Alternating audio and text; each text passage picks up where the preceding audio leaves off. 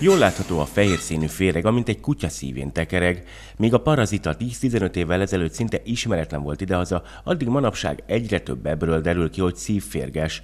A fertőzés kórokozóját szúnyogok terjesztik, így tavasszal és nyáron kiemelten oda kell figyelni a megelőzésre.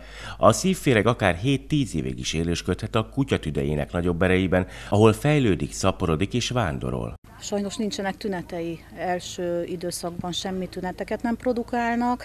Amikor már tünetek vannak, akkor már baj van, mert akkor azt jelenti, hogy már valószínű, hogy a férgek a szívébe vagy a tüdejébe vannak a kutyának. Ö, tesztelni kell a kutyát. Vannak gyors tesztek, nem túl drágák, pár csepp vérből az állatorvos két-három perc alatt megcsinálja.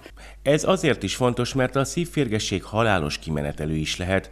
Kezelni hosszadalmas terápia során gyógyszerekkel lehet a megfertőzött kutyákat, de ez a módszer csak a betegség korai szakaszában hatásos.